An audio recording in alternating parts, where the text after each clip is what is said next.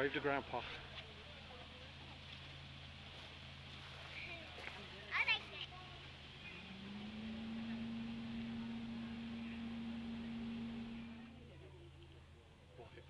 This is Grandpa Pete. We're at the zoo today. We're going to ride the train. Turn around and say hi. Aiden, turn around and say hi. Say we're on, say, right, say hi to the camera. Say we are riding the train. We, Hi, Grandma. We love riding the train. And today is the day we're riding the train. You're Keeping your arms, legs, and children inside the coach at all times. Also, there's no food or drink allowed on the train, so if you have anything like that, please keep it closed up tight and tucked away. Everybody just sit back, relax, and enjoy the ride.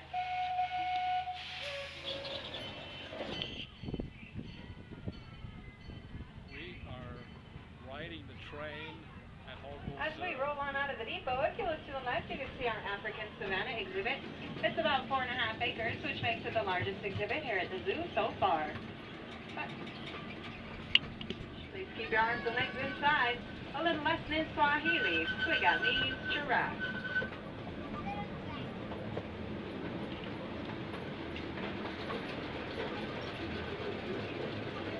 Out of the and past the rock wall on the right, you can see our pride of lions. The two big lionettes are Sayla and Naboo. Naboo's cubs are Brutus, Titus, and Calliope. And the two big males are Baron and Vulcan. African lions are the second largest cat in the world and the laziest of all the big cats. They sleep about 20 hours a day. And a pride of lions is the lioness who do all the hunting. And when they finally bring home some dinner, it's those lazy males who get to eat first.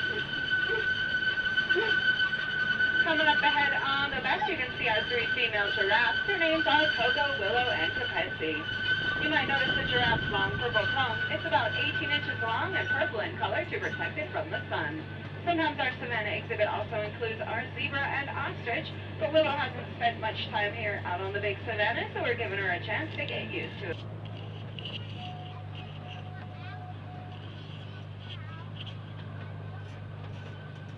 And now on the right, we'll be passing our hoop stock and giraffe bars. This is where our savannah animals go to spend their night. Our giraffes spend all night long inside their giant barns, they only sleep about 10 minutes and 2 hours a day. And they usually do it standing up. Around the bend on the right is our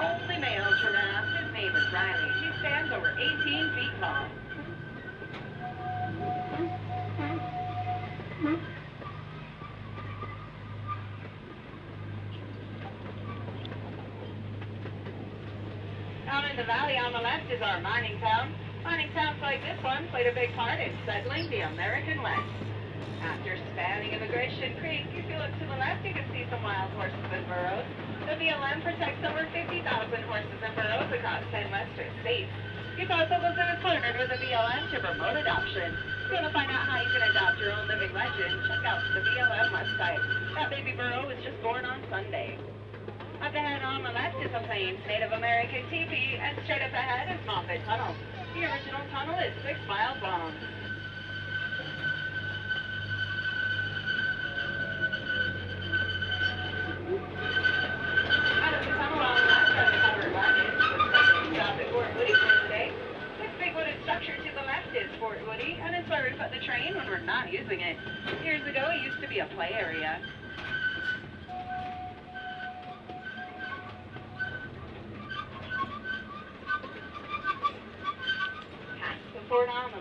Our graveyard.